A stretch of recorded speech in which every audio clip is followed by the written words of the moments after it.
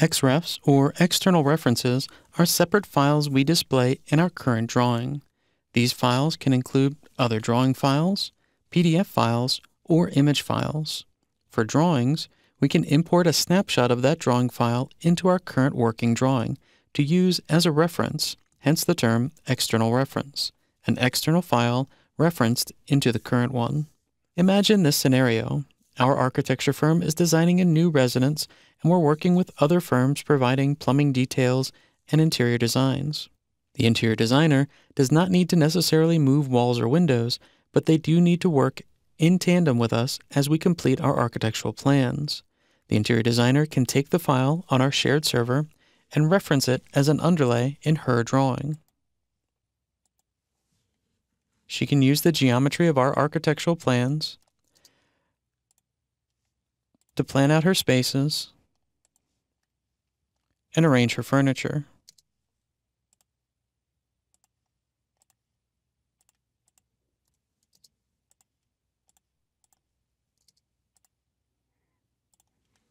As we update our plans, perhaps moving or stretching certain walls,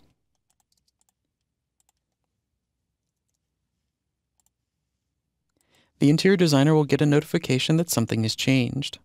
She can reload the file, see where the changes have occurred, and adjust her plans accordingly. XREFs are useful within offices as well, allowing multiple people to work collaboratively on the same project in different aspects. XREFs are also useful for keeping files small by dividing the geometry among files, which is especially helpful for 3D models. Other types of reference files include PDFs and image files.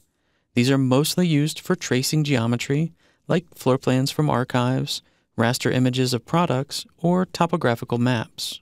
XREFs are added and managed from the Reference Manager, which can be opened from the Tools, palette screen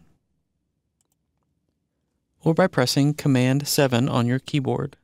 From here, we can add new references or modify existing ones, including unloading them, reloading them, or detaching them all together.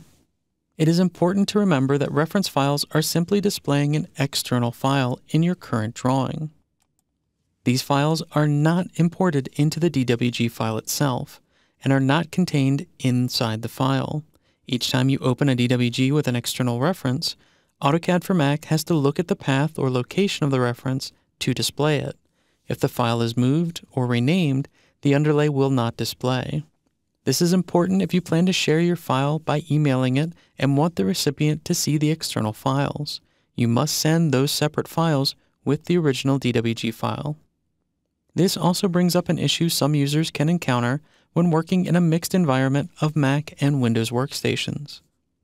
Mac OS X loads drives as volumes, which are named by the volume name itself. Windows, however, assigns letters to its drives, like the C drive or the P drive. In the case of network locations, the path to the file can be different from Mac OS X to Windows. For example, the project drive for your office might be mapped to the drive letter P on the Windows workstation.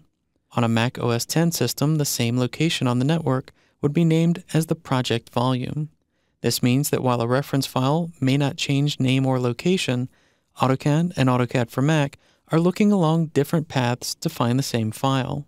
Fortunately, AutoCAD for Mac 2016 has a solution for users referencing files on a network that are accessed by both Mac and Windows users.